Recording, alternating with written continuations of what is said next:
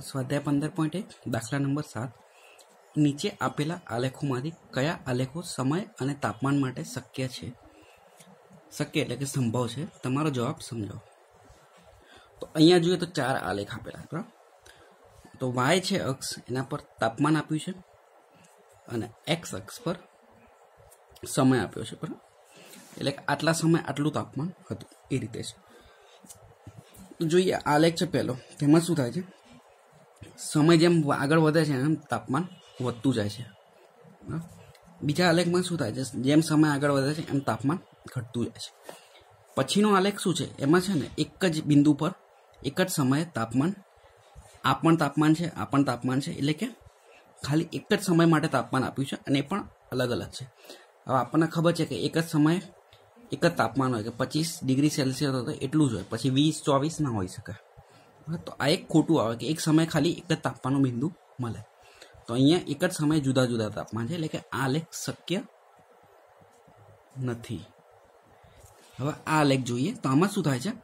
તાપમાન એનું જ રહે છે બદલાતું જ નથી. બરાબર? આ સમય આ સમય બધા સમય એક જ તાપમાન છે. એવું બની શકે કે તાપમાન ન બદલાતું હોય અમુક સમય માટે. બપોરના સમય ધારો કે ચાલીસ ડિગ્રી સેલ્સિયસ હોય તો એટલું એટલું જ રહે કલાક બે કલાક માટે. હા, એવું બની શકે અમુક સમય માટે.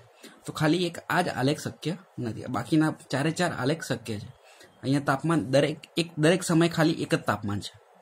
આ બિંદુ આટલા સમય જોઈએ તો એક જ છે તાપમાન. બરાબર? બધાની અંદર એક સમય, એક જ તાપમાન છે. ખાલી અહીંયા જ એવું થાય છે કે એક સમયે જુદા જુદા તાપમાન મળે છે, જે શક્ય નથી. તો અહીંયા લખી લઈએ. ત્રણ માટે આલેખમાં એક જ સમયે જુદા જુદા તાપમાનો છે, જે શક્ય નથી. એક સમયે જુદા જુદા તાપમાન શક્ય નથી, માટે આ આલેખ પણ શક્ય નથી. માટે આ આલેખ શક્ય નથી